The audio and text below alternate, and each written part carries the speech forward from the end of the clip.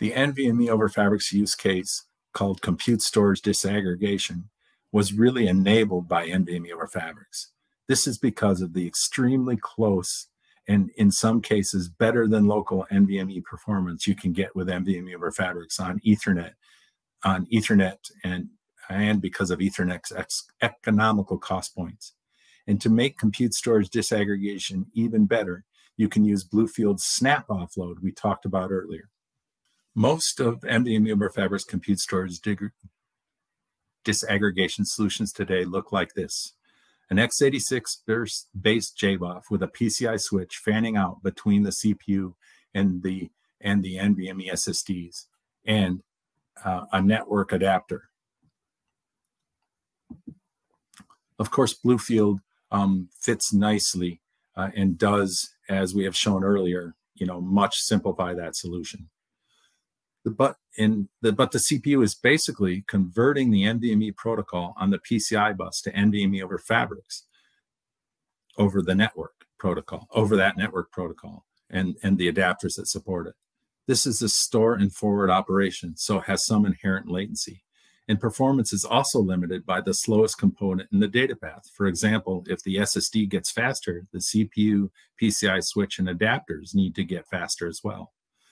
This, of course, also increases the cost as faster CPUs, PCI switches, memory, and adapters are needed.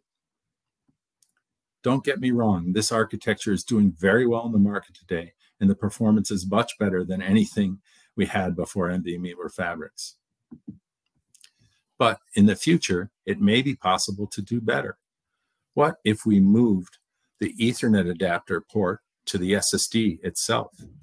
Then remove that would remove the high perform or then remove the high performance CPU adapter, PCI switch, and memory and replace them with an Ethernet switch and a small management CPU. Now, instead of a JBOF, we call it an EBOF.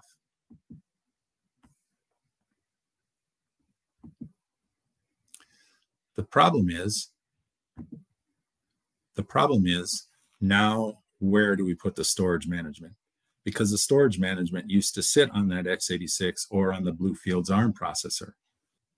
There's a couple of possibilities. One is the servers, one is the switch itself, once one, uh, and the final one is the SSD. But it's really hard to put storage management on an ethernet switch because it doesn't it sit on the data path. It just um, supports the network operating system and the asic switches the data. No access to it. Another place might be the ssd but the problem is the ssd has a very small processor as well and it can only manage its its small piece of the storage. The answer of course is the dpu bluefield um, is perfectly positioned and has all the, the right storage offloads to provide the functions needed, the discovery, the volume management, provide high availability. And then, of course, you have all the offloads um, that we've talked about earlier for things like compression and in, encryption of data and, and, those sort of things. Our partner, um, our storage partner for Bluefield, uh, Ingrasys, has developed some software that solves this management problem.